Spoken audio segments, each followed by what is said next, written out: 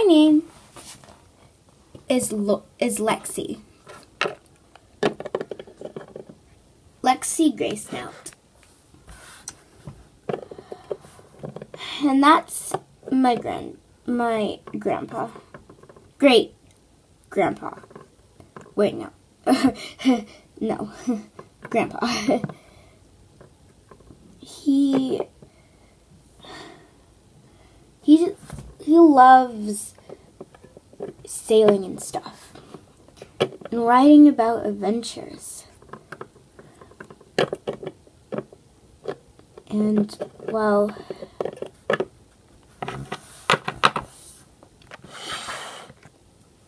he bought a mirror for his daughter. Basic, or I mean, well, my mom. this mirror was like no other mirror, it had it, it was just so weird. He saw the mirror and didn't understand it. Sometimes it would just have this rainbow glare to it and no reflection, at least barely.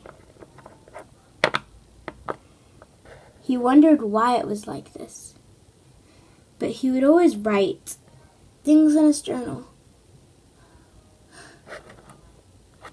And, well,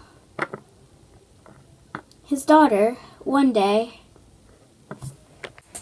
and, well, his daughter, slash my mom, one day when she was little, she saw the mirror and it was supposed to be a bir- a birthday present for her that year, but she found it in her dad his dad's her dad's office. She is she instantly instantly fell in love with it. But then Grandpa came in and well she she didn't get in trouble. In fact, he just let her have it now. Because the secrets the secret of the birthday present isn't there. And he said that you have plenty more. And she was so excited.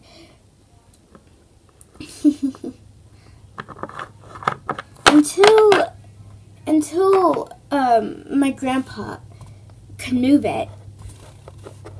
Um, one day she decided that she wanted to look at it. But then, but then, her older brother came in to speak to her.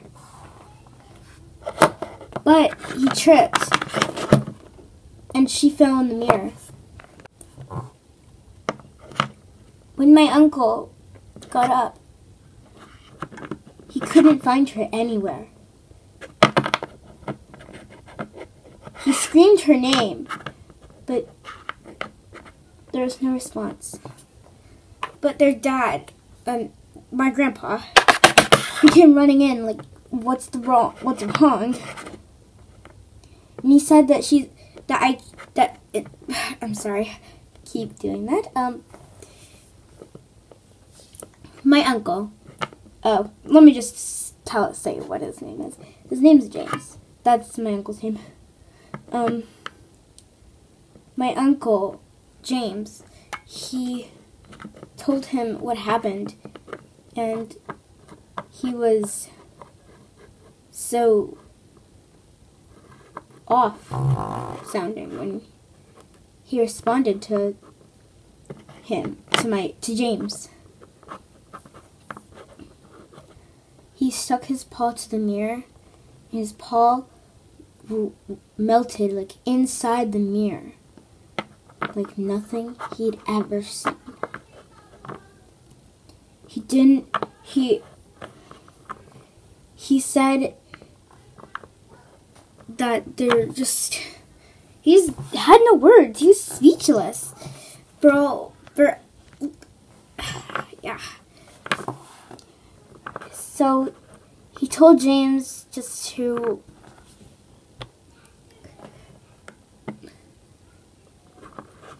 thought about it for a minute.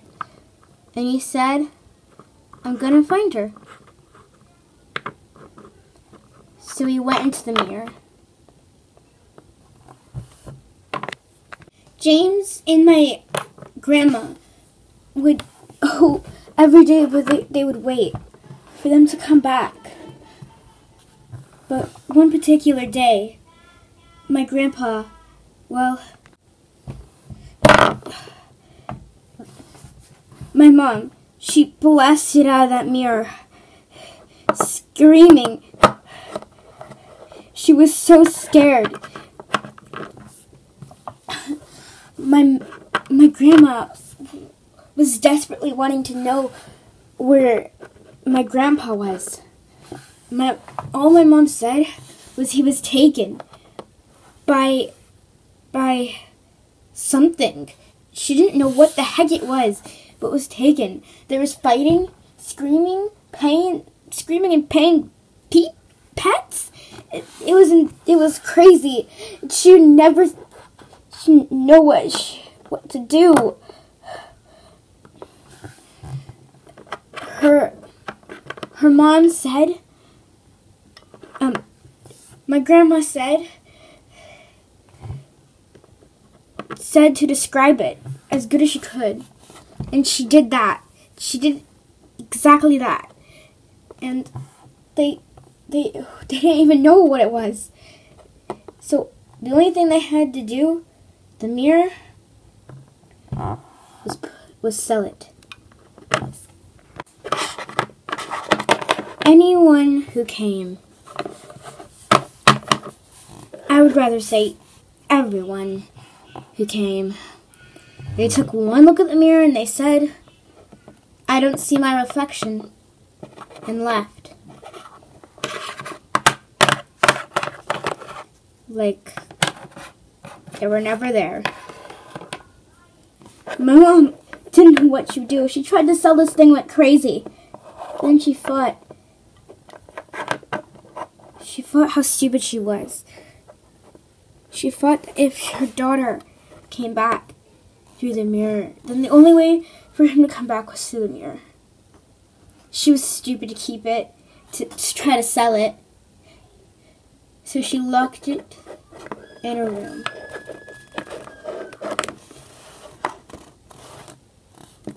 She locked it in her room where no one would ever be. Where everyone who's was banned to go through there.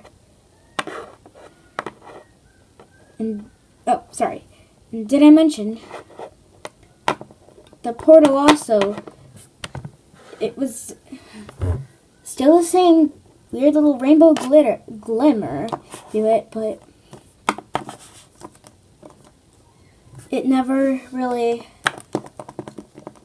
you could touch it and not fall straight through until whatever the heck my mom and my my grandpa was. My grandma, she walked into the dark little room in the house. She took the mirror, laid it down on the floor, and left it there. And, well, the curious kid and me and my brother was, we wanted to check out the mirror. So my brother took a match and lightened it. He lightened the candle and was finally able to see something. They found they found the mirror through a bunch of junk. It's kind of the little attic, but we don't have an attic, so this is kind of our, our storage room. The mirror was so weird. My mom she looked at it and she just saw it.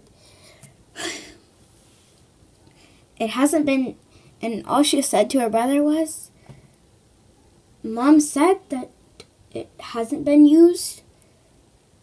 Well, I mean, sorry.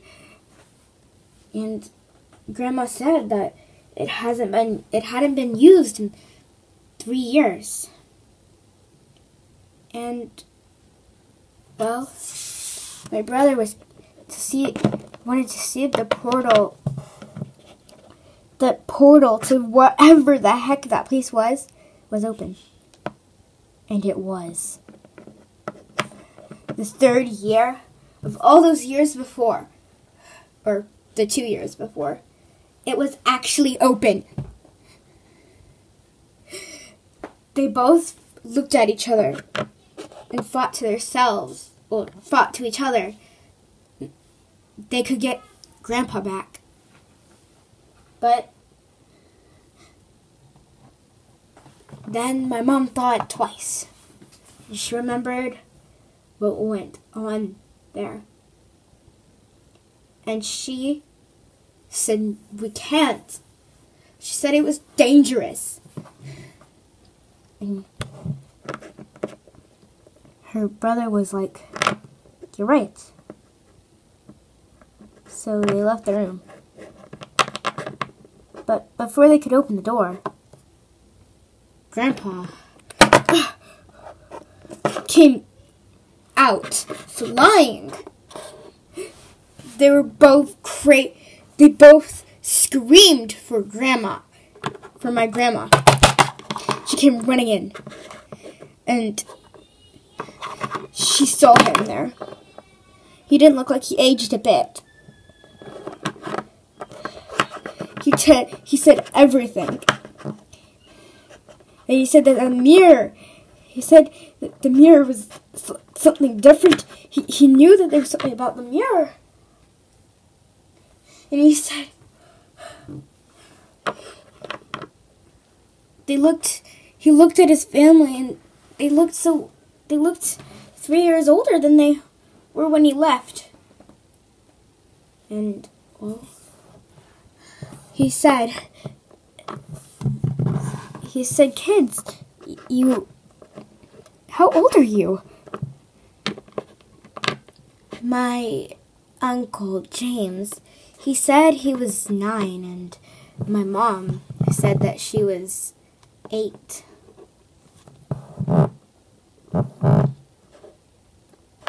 He was like, he didn't know what to think. And my my grandma said that he's been gone for three years. He was like, "No, you're wrong. I've only been gone for uh, about three months." And James was kind of a really weird science freak when he was uh-huh. little, like that. So he said that must mean we're in a time different dimension and in different dimensions the time frame is different. And he, he said i was gone for three years. I missed three years of your life ladies and they said yes but they decided that nobody should ever use the room again so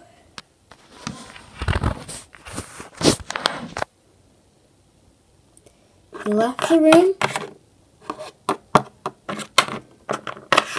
undid the match, I mean splashed water over the fire or lantern. okay, whatever. They turned off the lantern he laughed, placing a lock on the door and leaving.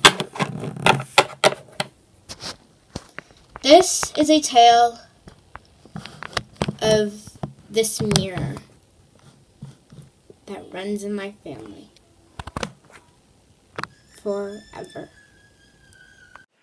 Beyond the Glass, a story of true adventure.